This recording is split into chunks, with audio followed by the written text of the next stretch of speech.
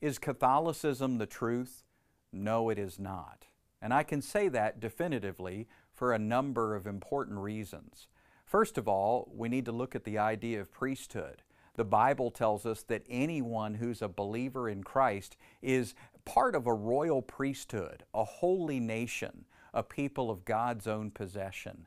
And our mediator is Jesus Christ, not some human priest. So we need to recognize that, that we have incredible access. We can come to God boldly with confidence because of all that Jesus Christ has done as our mediator.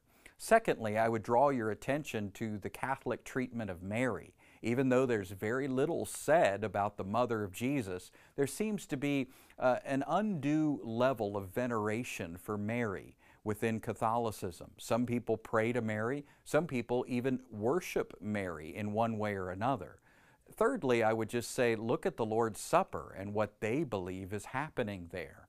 There's something they call transubstantiation and that is the idea that the body and blood that that's literally being consumed at the supper that the bread and wine become that in your physical body and that forgiveness is being achieved through that sacrament Therefore, if you don't participate in it, you don't have the forgiveness of sins. And if you don't do it often enough, then you're not forgiven and cleansed by God.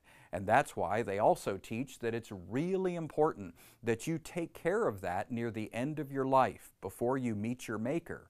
Otherwise, you'll have a lot of unforgiven and uncleansed sins to deal with.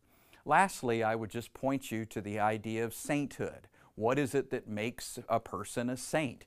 Well, the New Testament is really clear on that. It says that if we're in Christ, we are saints, we are holy ones. Whether it's Paul or Peter or any other apostle, you see them in various places in their letters referring to the church as saints, to the saints at Rome, to the saints at Ephesus. You get the idea. If you're in Christ, then you're a set apart one. That's the definition of what it means to be a saint.